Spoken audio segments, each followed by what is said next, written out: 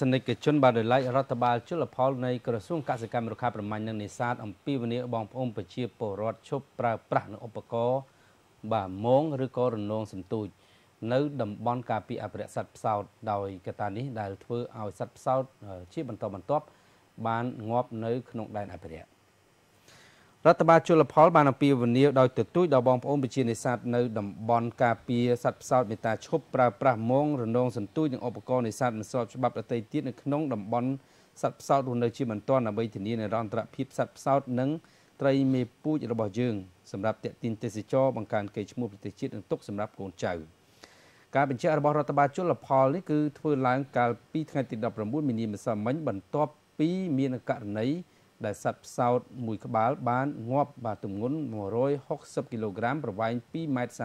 38ដែលមានអាយុប្រហែលជា20ឆ្នាំដែលបានងាប់ដោយឧបករណ៍នេសាទមងដោយមានស្នាមរយះនៅផ្នែកពោះស្នាមជាប់មងនៅគល់កន្ទុយនិងព្រុយចំហៀងគឺជាសត្វផ្សោតទី1ដែលស្លាប់នៅឆ្នាំ2023នេះផ្ទាល់តែម្ដងចំពោះមុខរដ្ឋបាលជលផលនឹងបន្តសហការជាមួយរដ្ឋបាលខេត្តក្រចេះស្ទឹងត្រែងនិងអង្គការ WWF ព្រមទាំងស្វែងរកដៃគូសហការផ្សេងទៀតដើម្បីពង្រឹងការពារឲ្យបានមឹងម៉ាត់ថែមទៀតដោយជ្រើសរើសឆ្នាំដល់ឆ្មាំទន្លេបន្ថែមនឹងប្រមូលកម្លាំងយាមល្បាតជាប្រចាំនៅតំបន់គ្រប់គ្រងសត្វផ្សោតដើម្បីទប់ស្កាត់កុំឲ្យមានការប្រើប្រាស់មងឬក៏រនងសន្ទូចនិងព្រមទាំងឧបករណ៍នេសាទមិនស្របច្បាប់ដទៃទៀត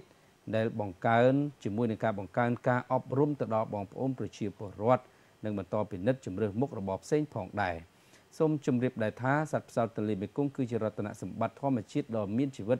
ដែលមានជីវិតមានប្រមាណជា90ក្បាលរស់នៅតាមបណ្ដោយទន្លេមេគង្គនៃខេត្តក្រចេះសត្វផ្សោតនេះវ័យអាចបន្តពូជបានចាប់ពី7ឆ្នាំ ហើយមានកូនរយៈពេល2ឆ្នាំម្ដងបាទអញ្ចឹងទេសត្វផ្សោតនេះចាប់ឆ្នាំ2023មកទៅជាករណីទី1ប៉ុន្តែគ្រាន់តែថាករណីហ្នឹងកើតឡើងច្រើនណាស់នៅឯឆ្នាំ2022ដែលផ្សោត ពេញវ័យបន្តពូជបានងាប់ជាបន្តបន្ទាប់